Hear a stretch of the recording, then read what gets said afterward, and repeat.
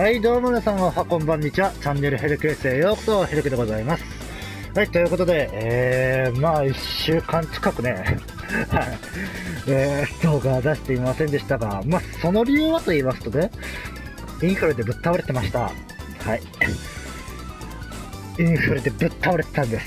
はい。大事なことなんでね、書きます。でね、まあ、つい先日くらいからかな、まあ、調子がまあだんだん戻り始めて、で、一応ね、もうほぼ完全復活って言っていいぐらいかどうかは、まあ、わかな。うん。ほぼ復活したので、えーやっていきたいと思います。えー今回は、えーこちらの J スポーツミーティング、や、協力していきたいと思います。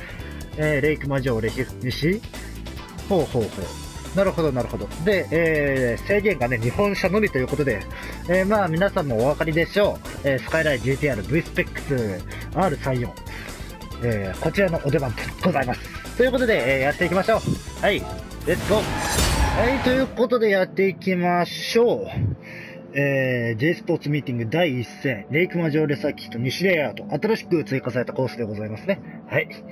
さてと、えー、今さっきね、あの、ちょっと、アーケードモードで、まあ、腕落ちてねえかなっていうぐらいで、まあ、ちょっと走ってきたんですが、まあ、若干不安不安要素が、まあ、ありありでして、はい。大丈夫だと思いたいんだけどね。まあ、前回は、まあ、あんなカオスっぷりだったからな。はい、ではやっていきましょう。よし、頼むぞ。今回は誤作動なしで、頼むぜ、ほんと。うん。泣いちゃうからね、俺。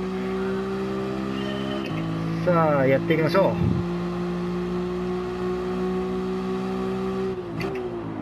よいしょ。あ、ちょっとギア下げすぎた。い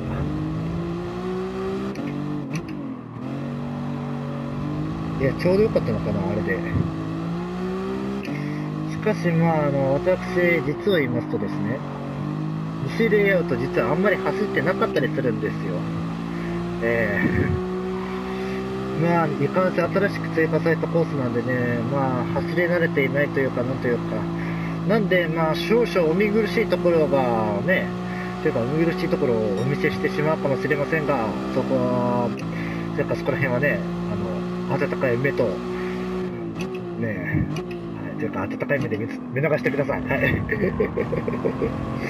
やべえ、全然本調子に戻ってねというか、語彙力が足りねえのは元からか。さあ、5周あるうち、よいしょ。あ結構攻められるところはまあ攻められるとは思うんだけど、ただね、あの、このスイフト君がね、うまいことうまいことあの、壁になるからね、実は正直、あの、あ抜きづらいところがあったりしなくもないんだよな、今さっきみたいにスムーズに抜けなかったりとかするわけですよ。そしてほんのちょっとぶつかっちゃった。よいしょ。いやまあ、しかしまあ、結構前の話にはなってしまいますが、80スープラ追加されましたね。いやー、本当おめでたい。本当おめでたいよ。うんっていうことはもう次あたりに R33 とか来るのかな？できればね、私としては、まああの、R92 を出してほしいんですがね。本当ね、あの、昔のね、あの、グループ C 時代のマシンはね、本当凶悪なんでね、ぜひとも出してもらいたいんですがね、難しいですかね。よいしょ。ただ R92 は叶わなくとも 787B はぜひとも出してほしい。あそこまでね、音が綺麗になるんだったら、絶対 787B もね、絶対良くなると思う。今のこの PS4 のスペックをもってすれば、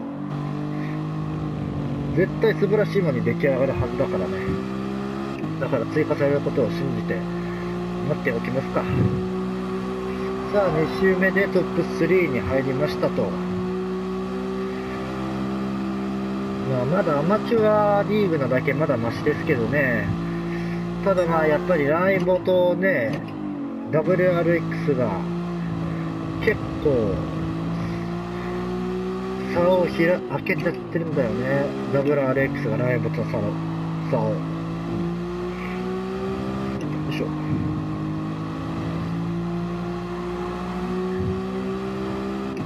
よし、見つけた。よ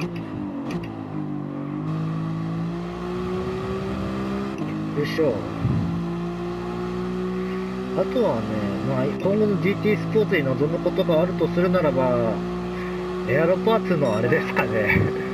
あの、前作までやったエアロパーツのカスタマイズ。あれはね、ほんと、継続されて欲しかった。エアロパーツも、ごってごてのエアロパーツつけて走るとか、あとは、まあ、エアロパーツをなくして04を、04を、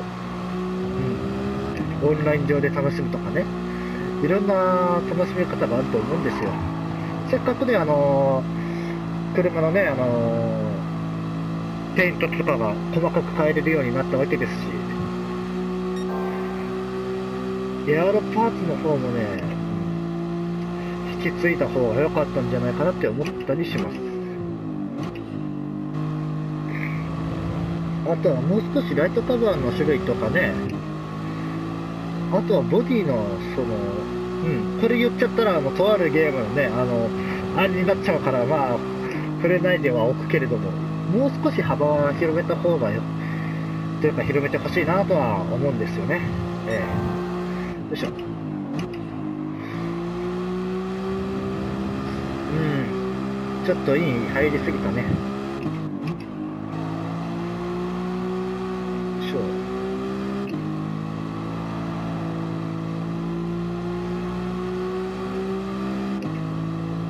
差は5秒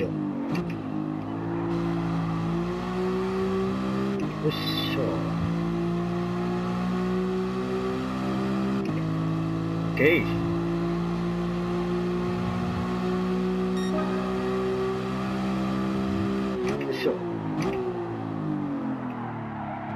おっとっとっとっと危ない危ない危ない。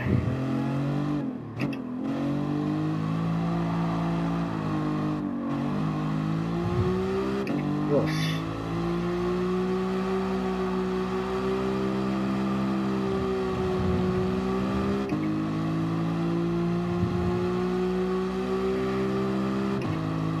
オッケー。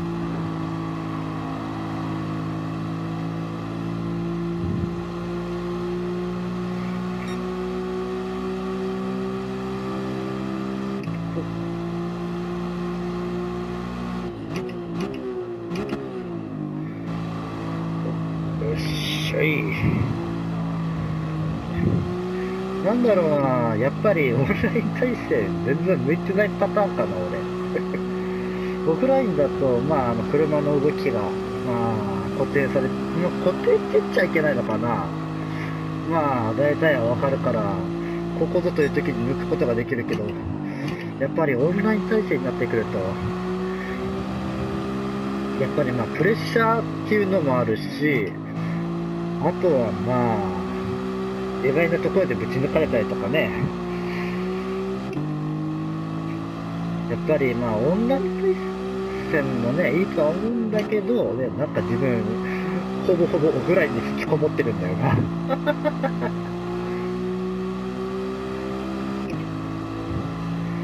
まあ多分足回りとかしっかりセッティングされてるんだろうなオンラインやってる人は。自分の場合足回り全然やってないからな。うえい足回りのセッティングが全然わかんないんだよな、本当まあそこら辺は多分完全なる知識不足だろうから、まあ、後々知識つけていかないといけないんだけれども、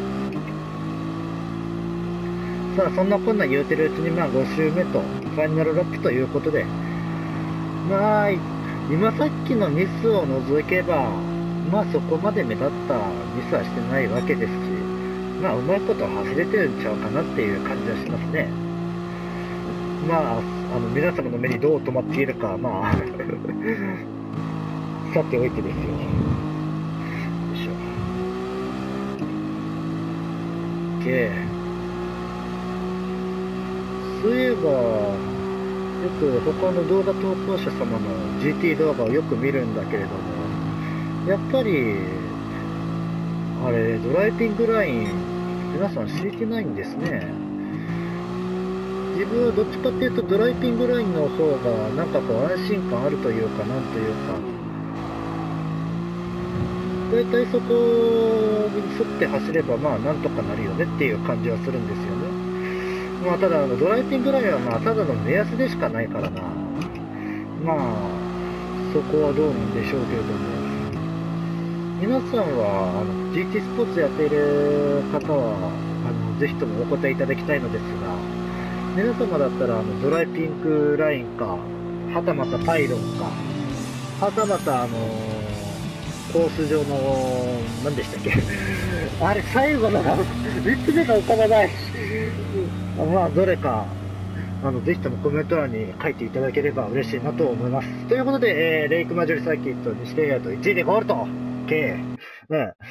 J スポーツミーティングだったね。一軒目。まあ1位でゴールできたからよしということで、えー、次のコースやっていきますか。え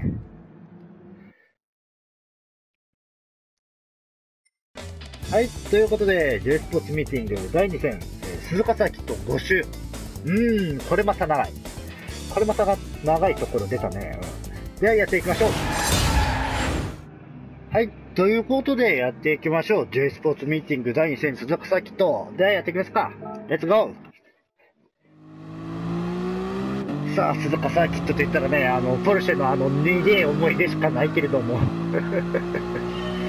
まあ、そんなね、苦手意識はもうぶっ飛ばさないと。うんやっていけませんぜ。ええ。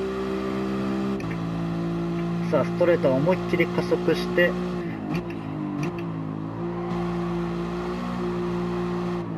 で、ここある程度、余力を残しつつ曲がると。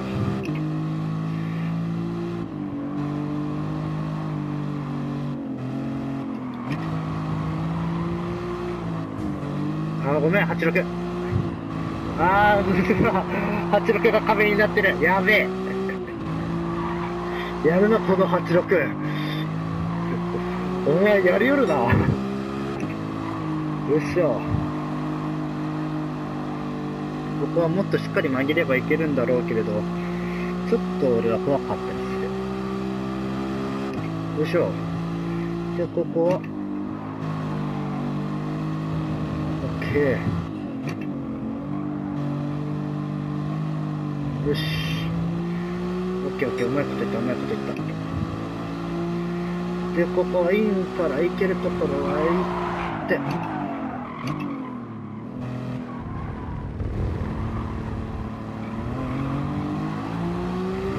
4駆だから加速は強いんだよな GTR ただまあ最高速があんまりねというか最高速の伸びがあんまりよろしくないっていうところがまあ弱点かな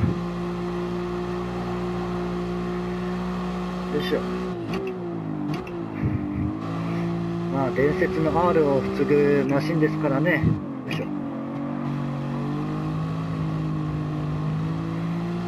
OK やっぱりコースコース長がね結構長いと結構攻め場所はいろいろあるから結構1周目で多くマシン抜けるね。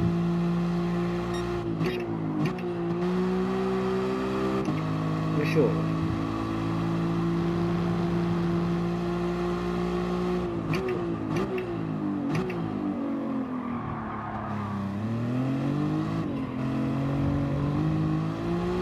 よし、OK。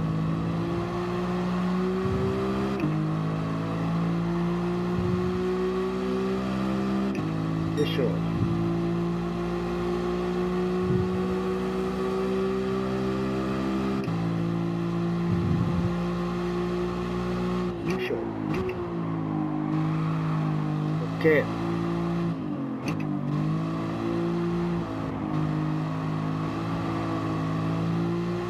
さあ2周目で6位。うん。なかなかいい。なかなかいい走りができてると思う。ただまあやっぱりまあそこまで完璧かって言われるとねまだまだ甘いところがたくさんあるからまあスーパープレイっていうわけじゃないかな。うん、多分スーパープレートは絶対に呼べないということは分かっているんだけどね。う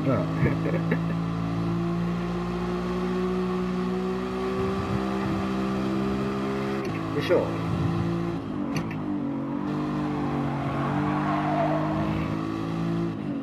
よし、オッケー。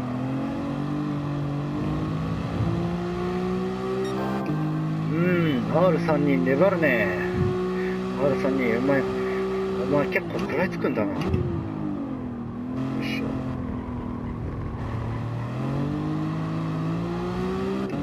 よいしょ。しかもゼッケン番号がまあご丁寧に32って。うまいこと考えるね。よいしょ。さあ、ここで2台をちょっとごぼう抜きしていこうかな。スマ、スマエボ。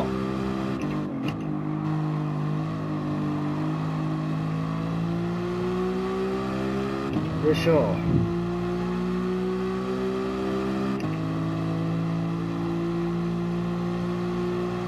オッケー。さあ、ベリケツがね、なんかちょっと気になってはいるんだけれども、まあそこは気にしたら負けだと思う、多分。今は走りに集中しよう。よいしょ。よ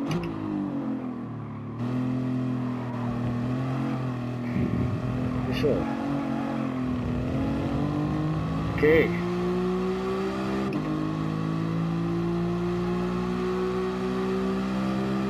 よいしょ。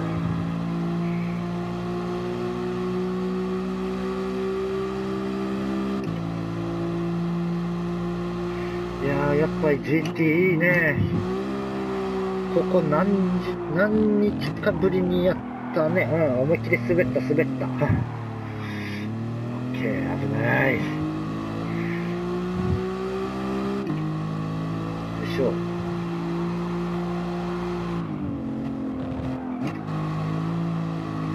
ここちょっと、あれだな、膨らみすぎたな、最初のとこ。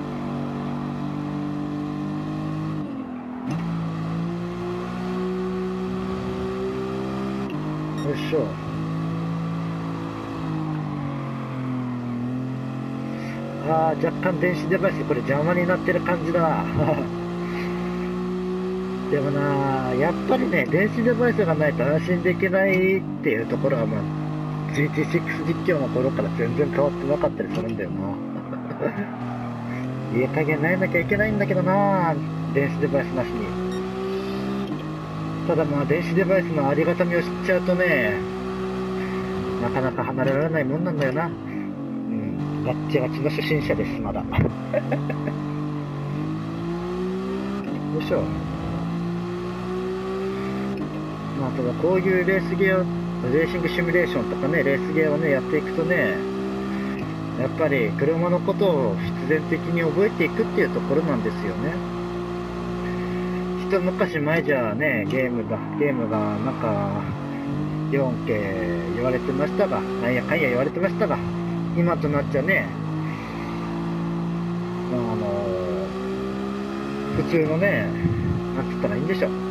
こう、普通のスポーツとほぼ同じぐらいの人気を誇るようになってきて、あの e スポーツという分野で、そんでどんどん世界に広がっていって、なんだか時代の流れを感じますね。うん、あの ねえ、堀内さんのやつら何言うとるんやと、まあ、突っ込みたくなる人いるでしょう。突っ込んでください。思いっきり突っ込んでください。まだまだこんなアマちゃんがね、言うのもあれですが。よいしょ。さあ、4周目、次でラストラップですな。しかしまあ、なんかね、今さっきですね、あのこの動画を撮る前、まあ、モンツは走ってたんですけれども、あのゴールラインがね、かなり手前になってる。うん。GT6 の頃は結構真ん中あたりっていった、まあ、ライン、ラインだったんだけど、なんかね、スポーツになってから一気にね、あの、ゴールラインが一気に手前になったんですよね。あの、ホームストート入る前のコーナーあるじゃないですか。あそこを抜けた出口、出口のちょっと前あたりです。出口抜けて、ホーム、ホームストレートに入る手前のところでね、あのーゴールラインなんでね、ちょっと、あれ？って思っちゃったんですよね。ええ。よいしょ。まあ、ただコースのね、一部もね、かなりガラッと変わっていたんでね、まあ、新鮮でしたよ。もう少しね、やっぱり、他のね、リアルなコース、リアルサーキットを増やしてほしいですな、市街地コースとか。まあ、こう、ナンバリングタイトルと比べちゃいけないっていうのは、まあ、自分でも分かってはいるんですけれども、やっぱりあの、ナンバリングタイトルを長くやってきた身としてはですね、あの、言うてあの、GT4 からですが、言うて GT4 からですが、まあ、ナンバリングタイトルをやってきた身としては、もうちょい、まあ、ダートコースとかね、市街地コースとか、あとはスノーコースもあってもいいんじゃないかなって思ってたりします。はい。でも、ダートとかスノーはめっぽう苦手だったりして。今のは完全にこっちのミス。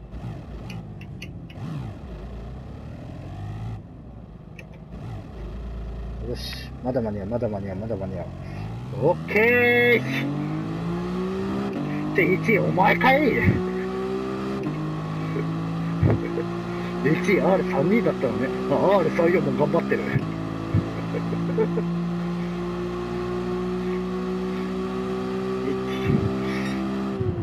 R34 も頑張ってんだな、お前。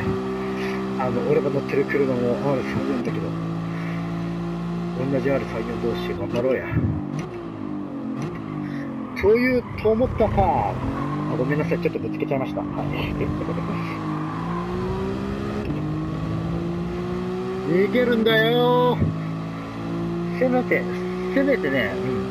せめて1秒伸ばしたい。うん。あ、もうすでに1秒伸びそうだから、とりあえず5秒くらいかな。うん。いやー、安心した結果があれですよ。あれが私です。ああいうのをね、なくさないといけないんだけどね。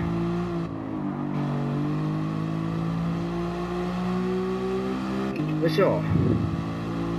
よ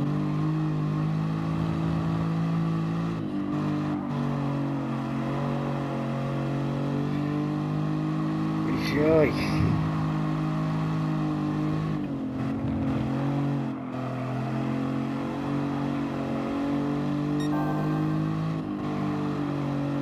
せ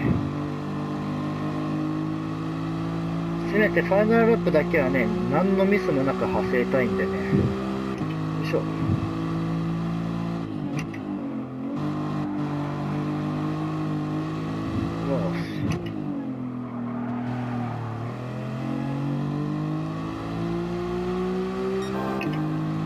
さあ、若干苦手なこのコーナー。ブレーキのね、踏みどころがあんまりよく分かってないんだよな。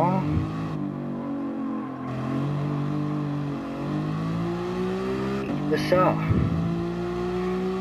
まいこと抜けた、うまいこと抜けた。よ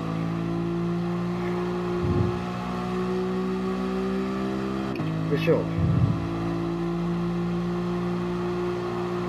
で、この調子でスプーンカーブ入っていくと。オ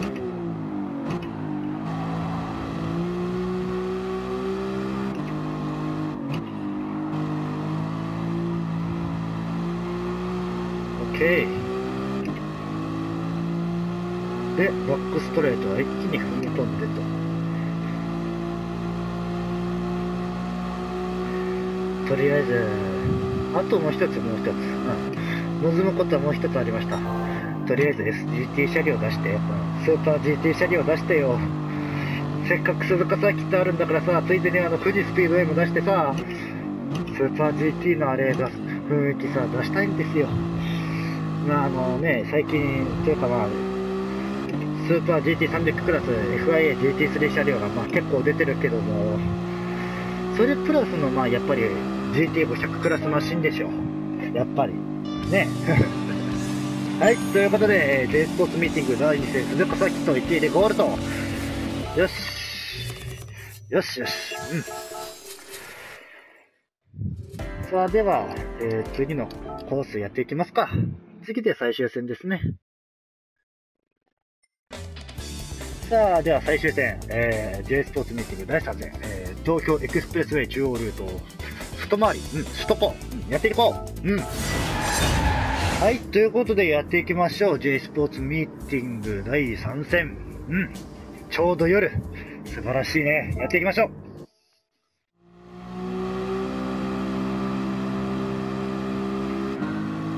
さあ、夜の首都高。やっぱり首都高といったら夜と思ってしまうのは、やはり首都高バトルの見過ぎですかね。そんな見てないけれども。うん、ごめんなさい。首都高バトルファンの皆様。でもなんかそっちのイメージがなんか強かったりするんですよね。おっとっとっとっとっと。おっとっと、あ、痛い。よいしょ。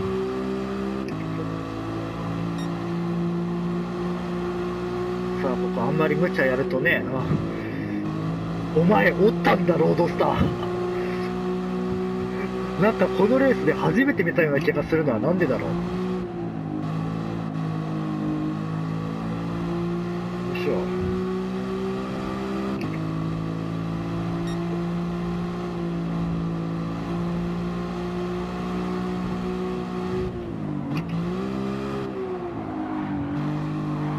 あごめん R さんよごめん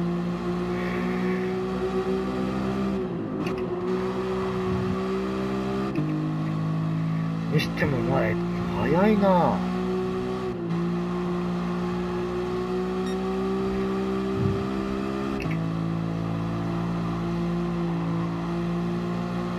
いしょ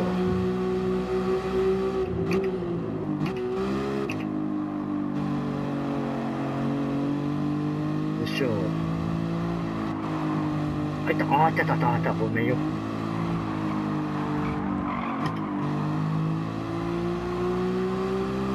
よいしょ。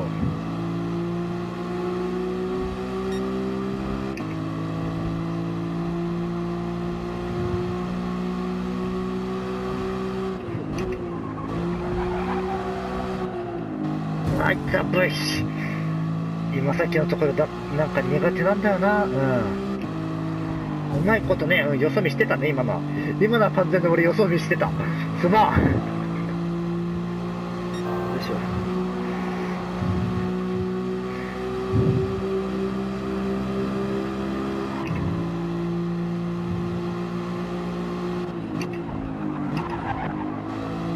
オッケー。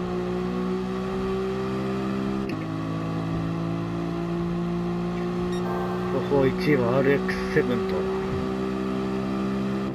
しょオ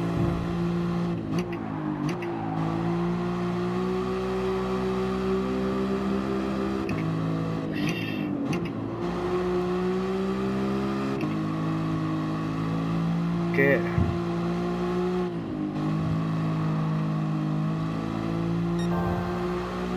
だいぶ近づいてきたぞ。ただまあやっぱりコース幅が狭いからちょっと抜きどころが少ないっていうのはまああれだけど難点だけども。ここで一気に攻め上がる。差は十分空いている。よ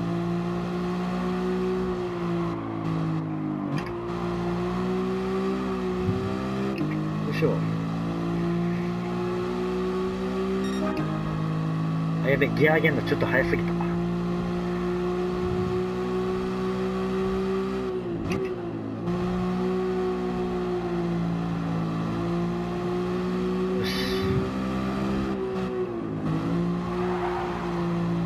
け3秒差かいけるかな？よ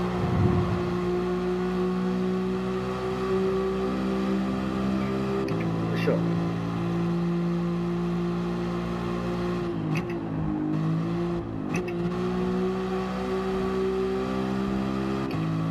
ッケー。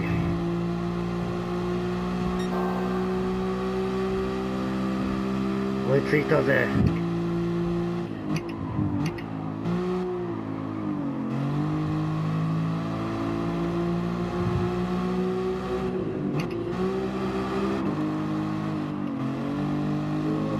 危ない危ない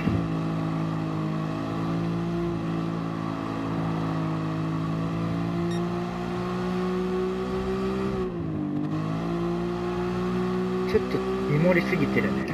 これはいけない。ちょっと根気よく攻めてみるか。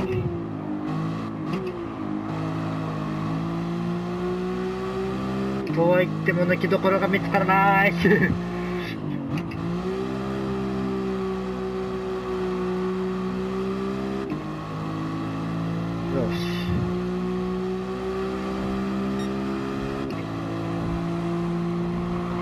オッケー。次でファイナルラップ。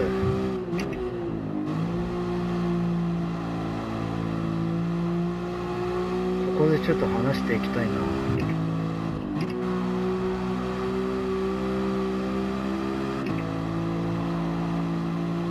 し。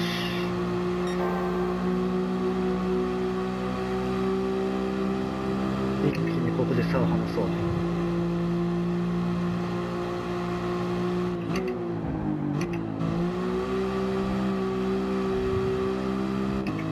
し。うまいこといった。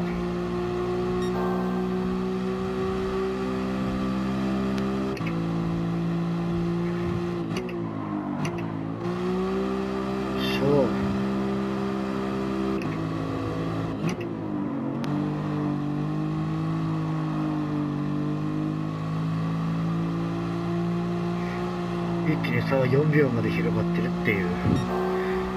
ストレートでやっぱりぶつないとおかげかね。よいしょ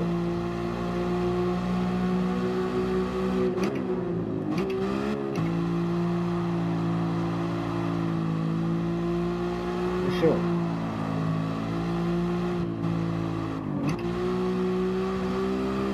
あいた。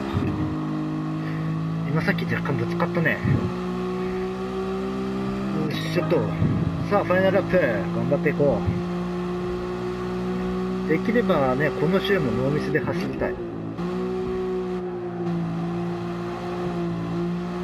っかりとハンドル曲げて。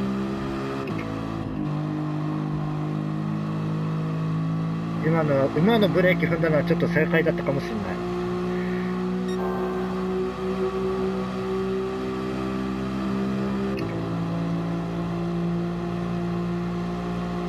よいしょ。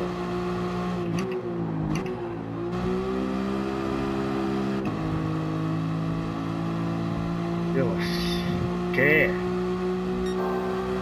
これ今さっきというか、これ、一番早く抜けたんじゃね？うん。抜けることできたんじゃね？だはーい。やってしまった。はい、KL のせいです。うん、KL だと一気に悪くなるね。